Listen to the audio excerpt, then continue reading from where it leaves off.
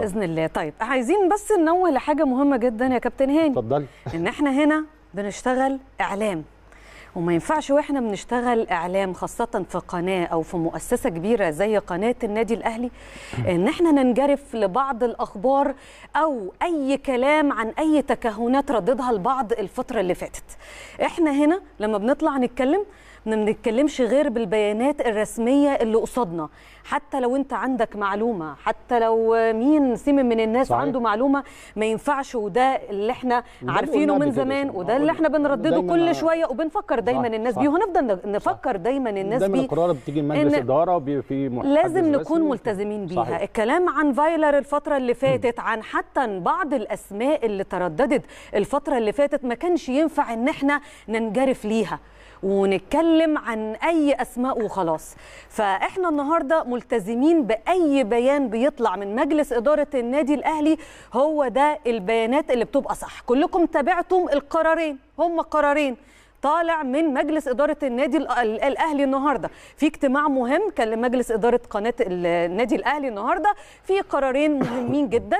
اولا قرر مجلس إدارة النادي الأهلي في اجتماعه اليوم الخميس الموافق 11 2020 برئاسة الكابتن محمود الخطيب الموافقة على ما جاء في المذكرة المرفوعة من لجنة التخطيط بالتنسيق مع المشرف العام على الكرة والتي تضمنت ما يلي واحد إنهاء العلاقة التعاقدية مع السيد ريني فايلر المدير الفني للفريق الأول لكرة القدم بما يتفق مع بنود عقده مع النادي نظرا لصعوبة تحقيق مطالبه الطارئة والتي لم تكن مدرجة في بنود التعاقد وتتعارض مع مصلحة الفريق واستقراره في هذه المرحلة المهمة فضلا عن حاجة لاعبيه للتركيز والاستعداد القوي للمرحلة القادمة.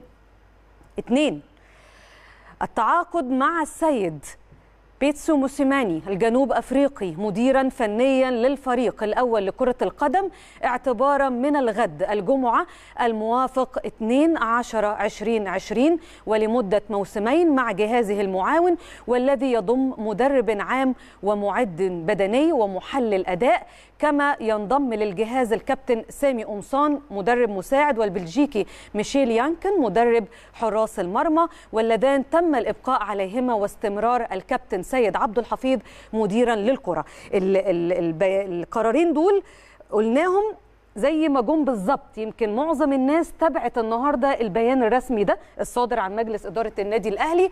كان لازم نقرأه على السادة المشاهدين نصا علشان هي دي المعلومات الصحيحة.